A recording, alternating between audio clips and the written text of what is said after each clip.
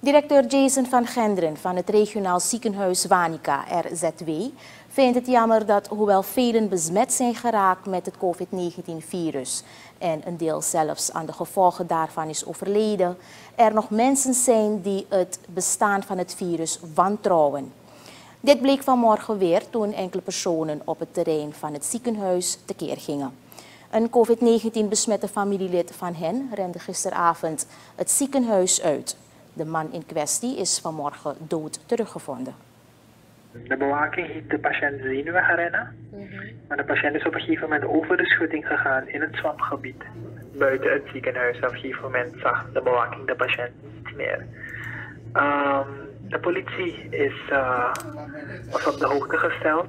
Er, is, er waren ook militairen aanwezig voor de bewaking van het ziekenhuis. Dus de politie is geweest, maar ze hebben gisteravond niets kunnen vinden.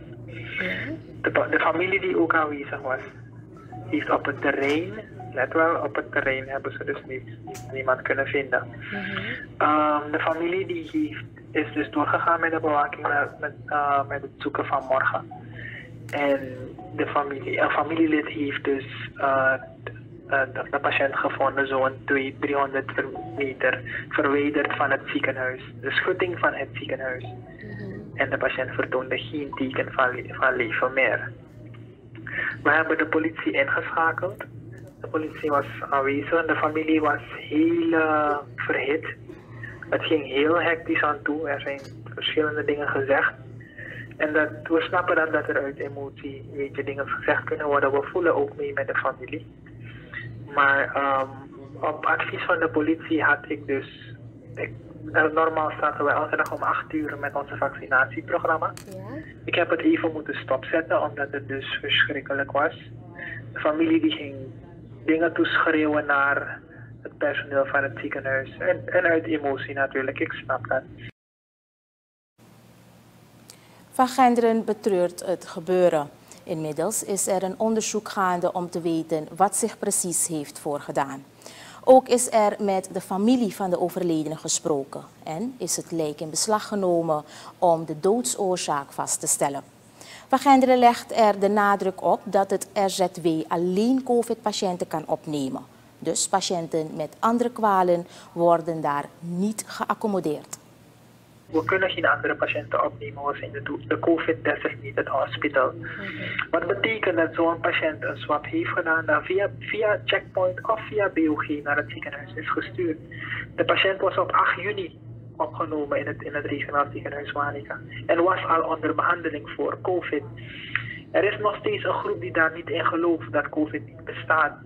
Maar we moeten wel realistisch zijn. Er zijn duidelijke medische gegevens en er, is, er zijn gesprekken gevoerd met de familie daaromtrent. Ja. Dus kijk, er, kunnen heel wat, er worden heel veel dingen gezegd. En ook wij begrijpen dat.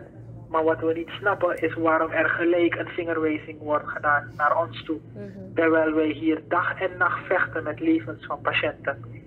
Maar als iets misgaat, wordt er zonder onderzoek, zonder na te gaan wat zich exact heeft afgespeeld, wordt er direct gespeculeerd en wordt er aangegeven dat wij verkeerd zijn.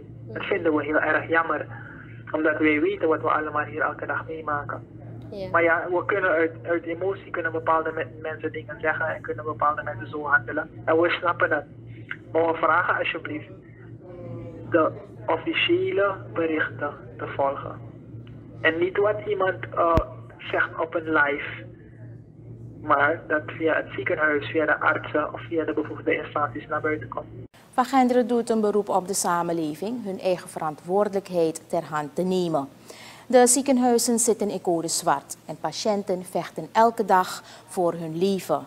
Bij de update van de COVID-19-website zijn er gisteren 10 doden geregistreerd en 272 mensen positief getest.